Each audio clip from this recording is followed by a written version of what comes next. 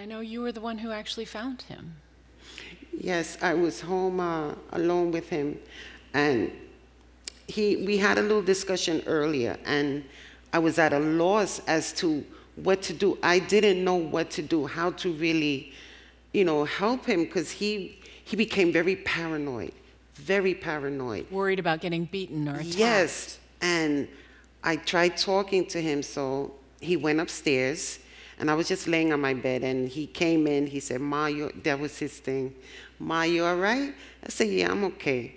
He went back upstairs, and I hear all this moving. So I figured, you know, he was in his brother's room. He's situating the room so he could get comfortable and watch TV. Then I hear him pacing from one room to the other. But when Kalief is upset, he paces. So I didn't pay attention. Then all of a sudden, I hear this loud noise. And I'm like, oh my goodness, a child and threw his brother's TV out the window. But I said, he can't because there's bars. So I said, wait a minute. I go upstairs. I went in his brother's room, nothing. Then I went in the other room, and he had kicked out the air conditioner covers. And I saw this gold rope thing. And I ran downstairs, and when I opened the backyard door, his foot, one of his feet was on the, the bar of the gate. And I said, Kalief, stop playing. This is not a joke. It's not funny. I said, Kalief. And then I got afraid to open the door all the way in case it was my fault that he, you know, he snapped.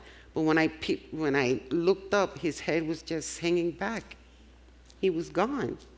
And that loud noise was his body banging up against the house. He had been fighting for five years to proclaim his innocence. I can't tell you how sorry we all are for your loss, Venida. Um, I know we had mentioned it. Mayor de Blasio has spoken up and invoked Kalief's name. President Obama wrote about it in the Washington Post in banning solitary confinement for juveniles.